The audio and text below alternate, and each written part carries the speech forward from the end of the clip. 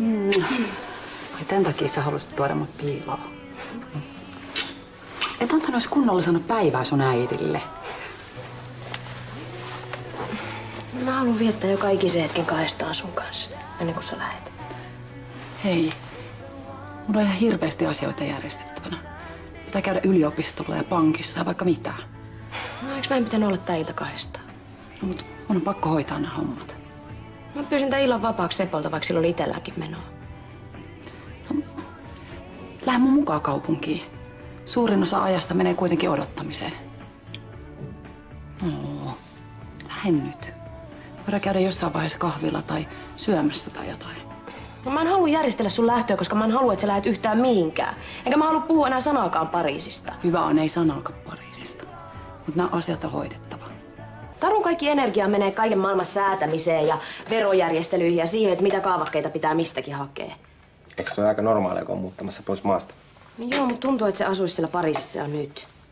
Ja kyllä mä ymmärrän, että sen täytyy säätää kaikenlaista, mutta miksi sen täytyy käyttää siellä meidän yhteistä aikaa? Ehkä se on vaan hyväkin, että te ette nyt roikku toisissanne koko ajan kiinni. No mitä hyvää siinä voisi olla? Erot voi olla aika ahdistavia. No ihan niin kuin mä sitä jo tietäisin.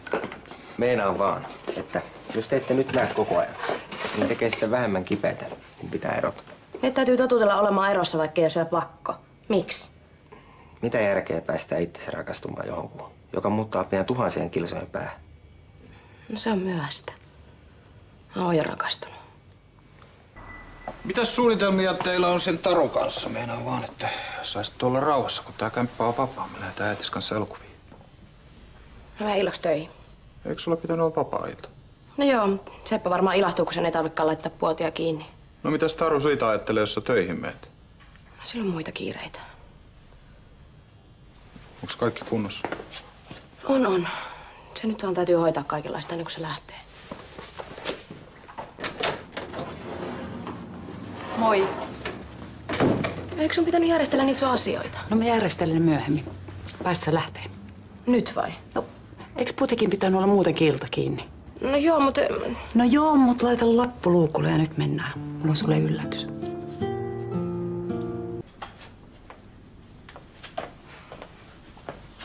Joka meillä on perillä. Mä otan nyt hetki vielä.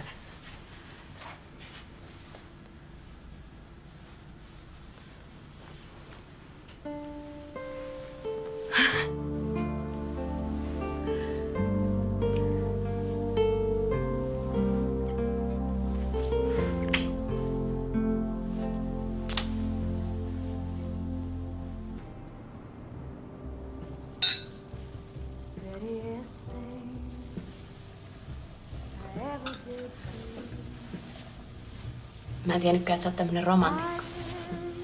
En mä yleensä olekaan. Mä halusin, että meidän viimeiset yhteiset hetket olisi mahdollisimman ikimuistoisia. Kaikki olisi kaunista ennen. Hei. Tiedätkö mitä? Sovitaan, ettei puhuta mun lähdöstä.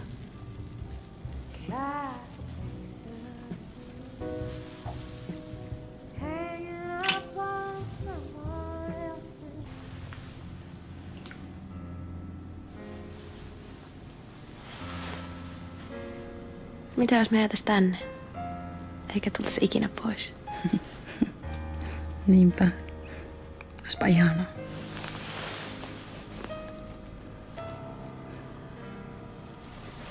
Tilattaisiin huonepalvelusta ruokaa ja juomaa.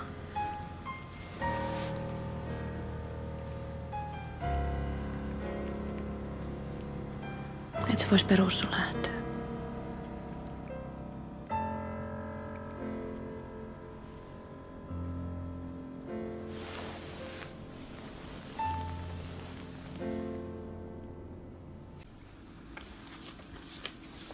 Miksi et sä syö mitään? No en mä voi. Enkä mä tajua, miten sullekaan maistuu. Ja niin kuin kaikki olisi jotenkin ok. No mutta eikö kaikki on nyt ihan ok? Aha. Mitä ahaa? No sä oot lähdössä, joten tää on sulle kaikki tosi helppoa. Eikö me sovittu, ettei tästä puhuta nyt? Pakkohan näistä on joskus puhua. Vai ajattelit sä vaan lähteä ja jättää mut tänne teeskentelemään, että kaikki on ennallaan? No en. no mitä sitten ajattelit?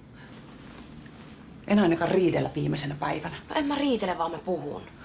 Mistä sä haluat puhua? Mikä ei muutu puhumalla? Mä oon lähdössä, se on ikävää. Ai ikävää. No, en mä osaa sanoa mitään muuta. Älä takeru joka sanaa. Mua vaan häiritsee se, kuinka helppoa tää sulle on. Mistä sä tiedät, kuinka helppoa tää mulle on? Poissa silmistä, poissa mielestä ja eikö uutta ranskatarta kehi. Kiitos Ai kiitos mistä? tämän kaiken pilaamisesta. Sun olisi pitänyt tajuta, miten katkera ihminen Tiina on. Sä halusit kostaa mulle. Sä löyt vaan bensaa Tiinan liekkeihin. No me oltiin molemmat samalla asialla. Olit pettänyt meidät molemmat. Väärin. Niin, no sulla on ihan ok valehdella suhteessa, mutta mulle ei.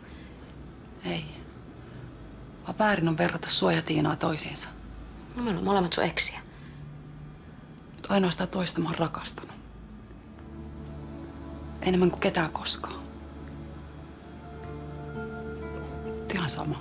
Mä en jaksa enää riidellä. Älä mene.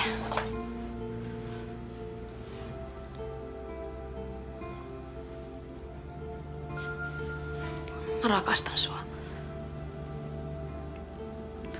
En mä halunnut loukata sua. Enkä mä halua jättää. No älä sitten jätä.